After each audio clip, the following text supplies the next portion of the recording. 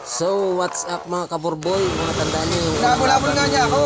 Tatang adik sa inyo. Ito na yung pangalawang yugto ng Maya, laban maya, maya.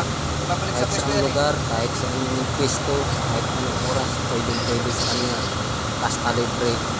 So, salamat pala sa nanood ng video ko. Uh, short. Maraming maraming salamat. So, ito na naman. May laban na naman sila. Ah, kasalukuyan mga kapor boys. Pauwi na kami galing sa biyahe. Na discharge na namin yung delivery namin. So,